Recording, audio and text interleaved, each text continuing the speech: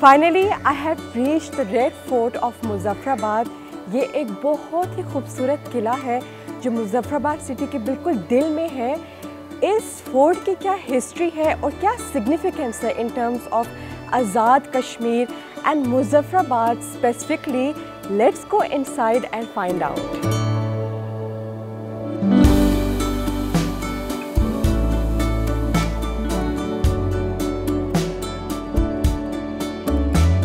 During the mid 15th 16th century and in fact usse bhi pehle this area was under the control of Chugh dynasty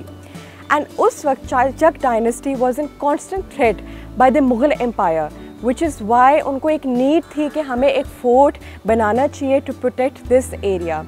so fort की construction mid fifteen century में start हो गई but by the late fifteen century और you can say by the late sixteen century fort Mughal empire के हाथों में आ गया and much of this fort was destroyed and then something happened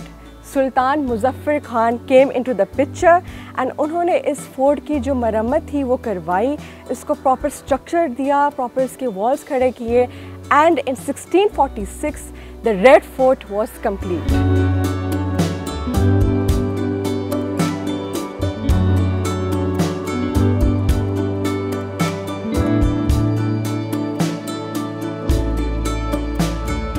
fort को बहुत ही इंटेलिजेंट तरीके से कंस्ट्रक्ट किया गया था। As you can see behind me is the Neelum river the most beautiful जो कश्मीर से कनेक्ट करता है। एंड बेसिकली इस फोर्ट का स्ट्रक्चर इस किस्म का दिया गया है कि it's U shape form and three rivers the most important for north Pakistan Kunhar river Neelum river and Jhelum river उसके अराउंड सराउंडिंग दीज रिवर्स ये फोर्ट को कंस्ट्रक्ट किया गया था। It's very beautiful and as you can see, I'm honestly enjoying this scenery. And इसमें आपको मुजफ्फराबाद की पूरी सिटी भी नज़र आ रही है So beautiful.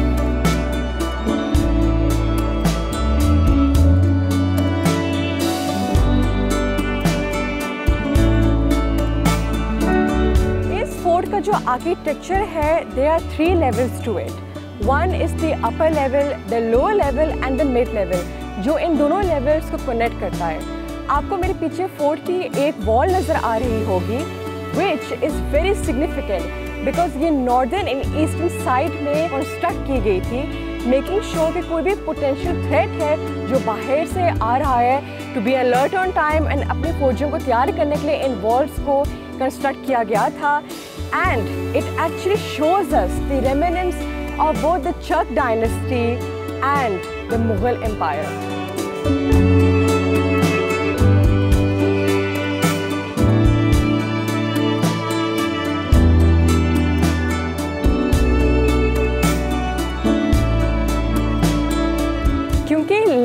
sixteen century तक फोर्ट की काफ़ी इम्पोर्टेंस ख़त्म हो गई थी। And then by the 1646 Sultan Muzaffar Khan of the Bomba tribe उन्होंने आके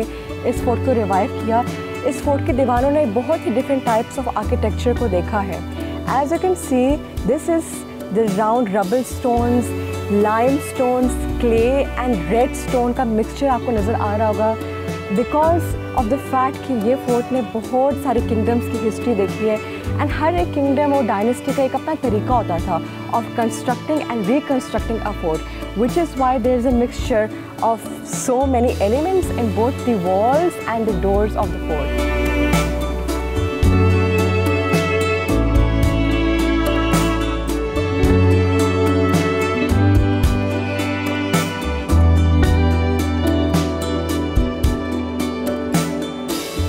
the nineteen century fort Dogra dynasty के हाथों आ गया। इन 1846 गुलाब सिंह ने हुक्म दिया कि इस फोर्ट को बाकायदा रिकन्स्ट्रक्ट स्ट्रक्चर किया जाए according to his plans and they use this fort till 1926 by the independence in 1947 जो फोर्ट था वो खाली हो चुका था and there was nothing but M rooms and now in 2021 The fort is under the authority of Muzaffarabad Azad Kashmir and the good news is कि इस fort को बाकायदा रिकन्स्ट्रक्ट रिवाइव दोबारा कर रहे हैं दे मेकिंग श्योर कि इसकी वॉल्स को वो दोबारा से स्ट्रक्चर करें ताकि जो हम चक डायनेस्टी डोगरा डायनेस्टी और मुग़ल एम्पायर की जो हिस्ट्री है, उसे दोबारा जान सके in a fresh perspective.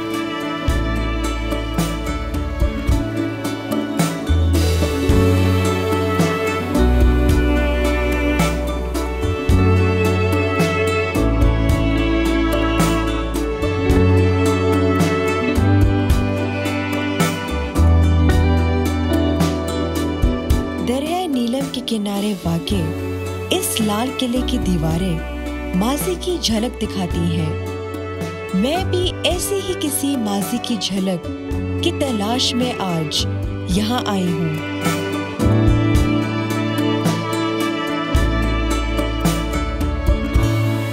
it was an awakening experience glancing into deep hole of past and learning about the Chak dynasty that once ruled this region with all its might.